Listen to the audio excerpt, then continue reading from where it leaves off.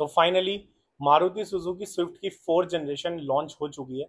और आज आपको मैं इस वीडियो के अंदर कंप्लीट डिटेल में बात करने वाला हूँ कि इस फोर्थ जनरेशन के अंदर क्या क्या चेंजेस हुए हैं क्या क्या फीचर्स हमें देखने को मिल रहे हैं और कौन कौन से वेरिएंट्स आ रहे हैं। तो वीडियो को एंड तक देखिएगा और बहुत जल्दी एक मैं नई वीडियो लेके आऊँगा कि जिसके अंदर हम बात करेंगे स्विफ्ट फोर्थ जनरेशन के ऊपर कि इसके अंदर कौन सा वेरिएंट वैल्यू फॉर मनी है आपके लेने के लिए।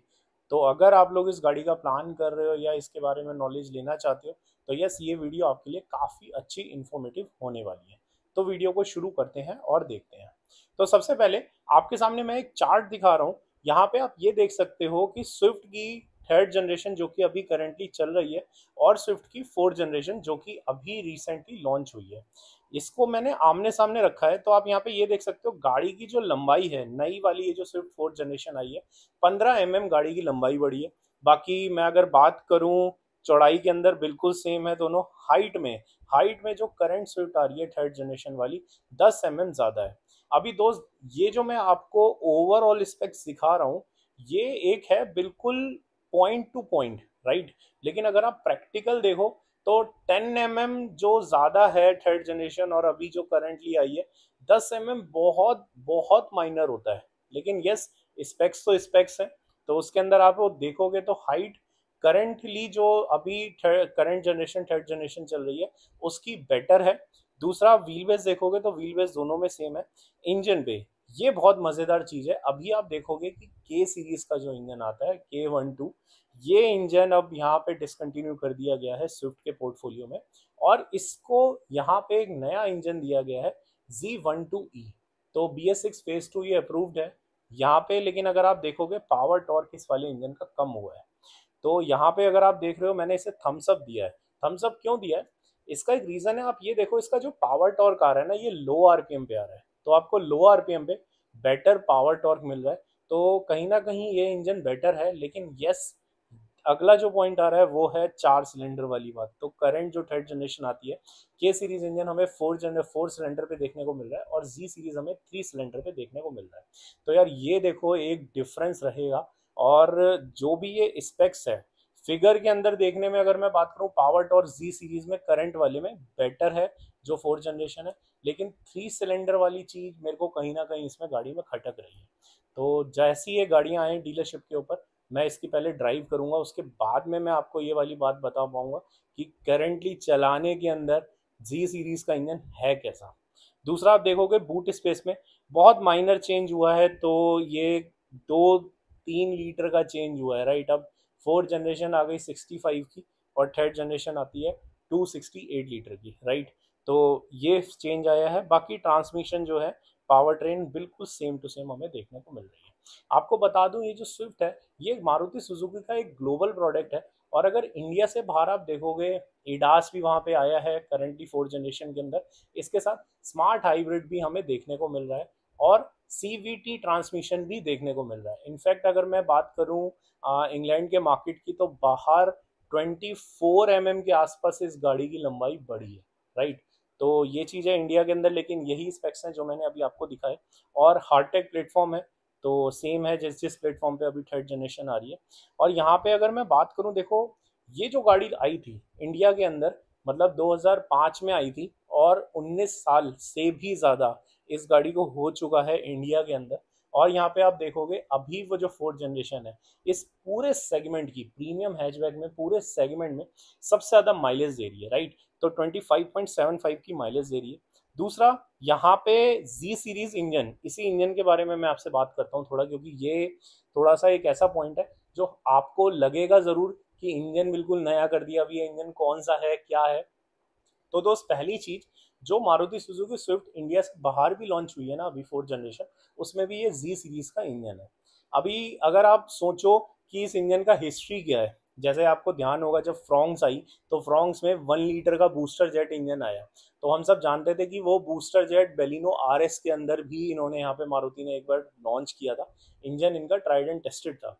बट जी सीरीज़ की अगर मैं बात करूँ, ये डेडिकेटेडली सिर्फ़ और सिर्फ़ स्विफ्ट में ही यूज़ हो रहा है। इसका कोई हिस्ट्री नहीं है कि किसी मारुति की पुरानी किसी गाड़ियों में यूज़ हुआ हो, कहीं इंडिया से बाहर यूज़ हुआ हो, कहीं नहीं ऐसा। राइट तो ये चीज़ है। दूसरा आप देखोगे के सीरीज़ के advantage dual jet V T V T आता है राइट एलमोनियम उस पर आता है इंजन और काफ़ी अच्छा कूलिंग था इस इंजन का। तो जो भी कापा सीरीज़ के एडवांटेजेस थे, वो सारे मिल रहे हैं आपको, ठीक? जी सीरीज़ के अंदर वो सारे एडवांटेज मिल रहे हैं। कहीं ना कहीं ये जी सीरीज़ बेटर है as compared with K series engine but वो तीन सिलेंडर और चार सिलेंडर वाली बात है, वो जब तक चलाएँगे नहीं गाड़ी को, तब तक कुछ नहीं मैं कह सकता कि कैसा होगा। अब मैं बात करता हूँ इसके वेरिएंट्स पे।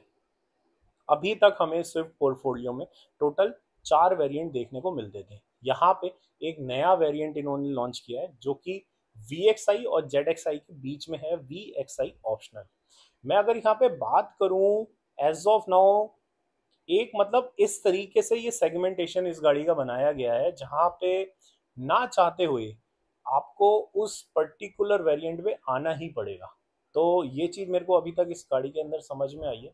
और कहीं ना कहीं इंडियन बायर्स का और हम सबका ये मतलब मारुति स्विफ्ट जो प्रोडक्ट है ना, ये थोड़ा सा माइंडसेट चेंज कर रही है कि जो पहले तक इमेज रहती थी ना मारुति में कि यार बेस वेरिएंट ले लो या बेस बेस से एक ऊपर ले लो और बाकी एसेसरीज लगवा लो टॉप वेरिएंट उसे बना लो, वो चीज़ यहाँ पे मारुति ने चेंज करी है।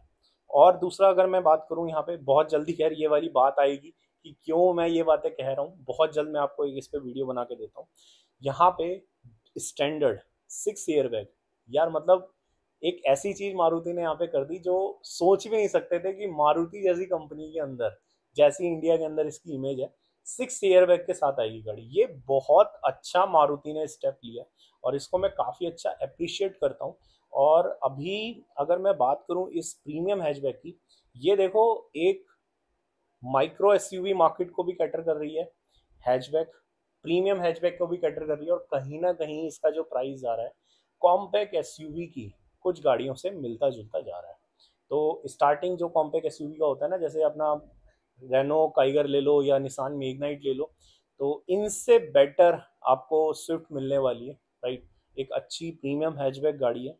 दूसरा, यहाँ पे छः एयर बैग आ गए हेलोजन प्रोजेक्ट प्रोजेक्टर हेडलैम्प हमें देखने को मिल रहे हैं स्टैंडर्ड तो बेस वेरिएंट से हेलोजन प्रोजेक्टर आ रहे हैं लैम्प इसके साथ में अगर मैं बात करूँ रियर डिफॉगर स्टैंडर्ड हमें यहाँ पे देखने को मिल रहा है. पावर विंडोज़ जो आ रही हैं फ्रंट और रियर चारों उसमें पावर विंडोज़ आ रही हैं. तो पहले तक ये वी एक्स आई से आती थी राइट स्टैंडर्ड पावर विंडोज़ आ गई, बहुत बढ़िया. पिंच गार्ड आ गया विद ड्राइवर साइड डाउन तो अभी तक इसके अंदर क्या था? पिंच गार्ड नहीं आता था और जो पावर विंडोज़ थी, सिर्फ़ ड्राइवर साइड की डाउन होती थी अप नहीं होती थी। तो अप भी है डाउन भी है पिंच गार्ड भी है।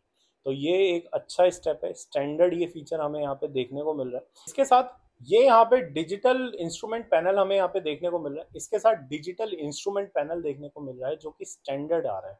आप यहाँ पे ये देखो ऑटो एसी नहीं आ रहा, जैसा बेलिनो पोर्टफोलियो है ना, कि जहाँ पे ऑटो एसी हमें देखने को मिल रहा है बेस वेरियंट से। इसमें ऐसा नहीं है। बट वो डिजिटल पैनल आ रहा है, कहीं ना कहीं और बेटर हो गया। जैसा अगर आप देखो, इसका ड्राइवर इंफॉर्मेशन डिस्प्ले भी चेंज हुआ सेंटर कंसोल भी चेंज हुआ, और सेंटर कंसोल में एक चीज़ रह गई इसका ये जो सेंटर पार्ट है ना डैशबोर्ड का, ये यहाँ पे एट डिग्री टिल्ट करा गया है। अभी फ़ायदा ये ये हो रहा है इजीली कन्वीनियंटली ड्राइवर गाड़ी को चलाते टाइम उसको ऑपरेट कर सकता है। ये एक अच्छी चीज़ है। और बाकी अगर मैं बात करूँ यहाँ पे वी एक्स आई ऑप्शनल की तरफ़ तो सुजुकी कनेक्ट ऐप अब आपको वहाँ से वी एक्स आई ऑप्शनल से मिल रही है। Right push start button keyless entry ये आपको वहाँ से मिलेगा। इसके साथ electrically foldable O R V M यहाँ से मिलेंगे। तो करेंटली ये चीज़ें हैं बट इस पर मैं बहुत जल्दी आपको एक वीडियो बना के दूँगा कि क्या क्या फीचर्स आ रहे हैं। और साथ ही साथ अभी इसमें कलर्स की बात करो आप तो देखो यहाँ पे दो नए कलर एड ऑन करे गए हैं, जो अभी तक नहीं थे, इस स्विफ्ट पोर्टफोलियो में।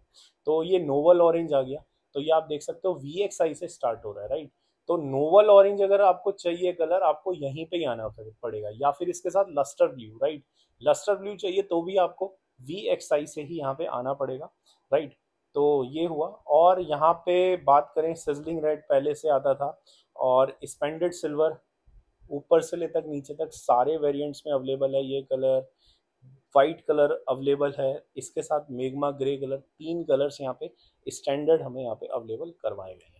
बाकी ये ड्यूल टोन के अंदर हमें और एड ऑन कलर्स देखने को मिलेंगे।